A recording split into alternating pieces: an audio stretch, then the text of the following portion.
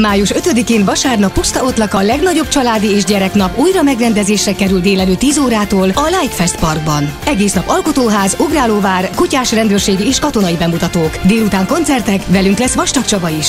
Sziasztok, Vastag Csaba vagyok. Nagy szeretettel várok mindenkit május 5-én a Puszta Otlakai családi és gyereknapra. Gyertek és csapjunk egy felgeteges bulit. Sziasztok! Részletes program és az ingyenes buszjárat információ Simonka György honlapján és a Facebook oldalán.